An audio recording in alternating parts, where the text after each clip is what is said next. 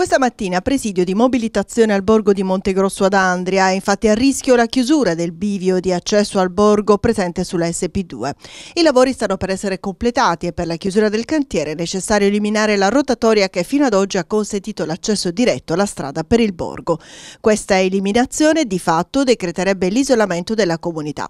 Una storia che va avanti da più di dieci anni e stamane dunque protesta dei residenti e dei titolari delle attività produttive, delle aziende agricole ed artigiane italiane che operano a Montegrosso non si accettano controproposte, questo è il leitmotiv. Intervenuto anche il presidente della provincia Abate, Bernardo Lodispoto.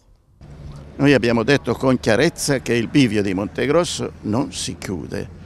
Quali sono le soluzioni? Ne abbiamo fatte tante, avevamo accettato l'ultima, quella del ponte di Minervino, con un rientro a doppia corsia a destra e a sinistra, e purtroppo su questo non si è lavorato per niente. C'era stato detto che c'era un finanziamento per questo, ma questo finanziamento pare che sia scomparso. Ora chiediamo fortemente che la chiusura della provinciale per Montegrosso non ci sarà. Quindi la blocchiamo da oggi in maniera tale che vogliamo sapere quali sono le decisioni. Ci ho impiegato 30 anni a mettere su un'azienda di sacrifici e di duro lavoro e ora i nostri amministratori invece che tutelarci ci vogliono spazzare via le nostre imprese, chiudendo un bivio che è una uscita che sta qui da 100 anni. Dopo tante promesse, tre anni di promesse ci hanno solamente preso in giro e oggi volevano fare un blitz e chiuderci completamente e definitivamente.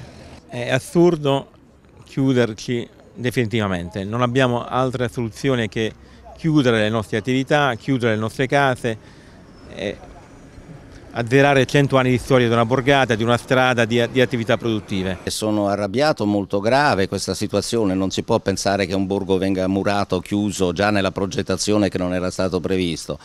Eh, io ho dato tutta la mia disponibilità per finire la complanare, già da 4-5 anni la prefettura non mi ha mai risposto, quindi si poteva benissimo fare con la complanare e quindi sostituire a, questa, a questo disastro che vogliono fare oggi, che chiudendoci chiudono le attività, le, le attività chiudono il borgo, chiudono insomma tutto, tutto quello che c'è qui in giro, quindi sarebbe veramente grave pensare a una cosa del genere.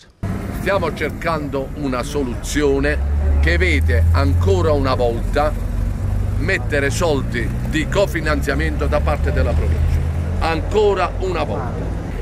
Se troviamo questi soldi che stiamo già verificando, la Regione ci dovrebbe concedere una proroga per quanto riguarda la eliminazione, quindi la, il collaudo. In questo momento, se ci sono queste condizioni, viene regolarizzato tutto. Questo incontro ci sarà martedì presso la prefettura con il coinvolgimento anche della regione.